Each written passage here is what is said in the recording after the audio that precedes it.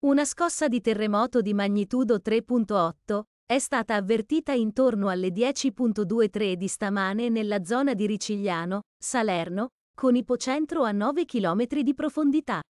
Il sisma è stato distintamente avvertito a Potenza e in diversi comuni della provincia. Muro Lucano, Balvano, Castelgrande, Bella, Vietri di Potenza, Baragiano, Pescopagano, Sanfele, Rapone, Savoia di Lucania, Ruvo del Monte, Picerno. Non si registrano danni.